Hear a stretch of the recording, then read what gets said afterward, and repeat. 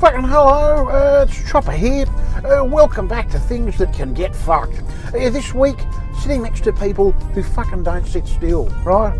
I hate it when you're on a bus or a train or at the movies or something and the person next to you won't stop fucking fidgeting and moving. Uh, the only excuse for carrying on like that is if you're being electrocuted. And even then, fuck, keep it to yourself.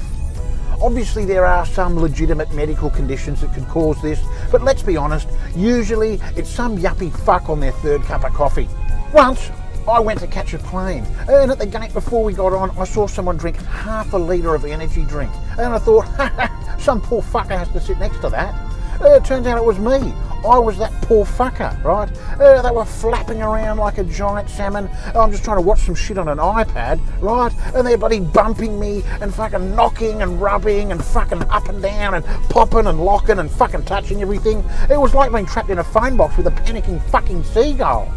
I mean, how much energy do you need to sit in a fucking seat for a few hours?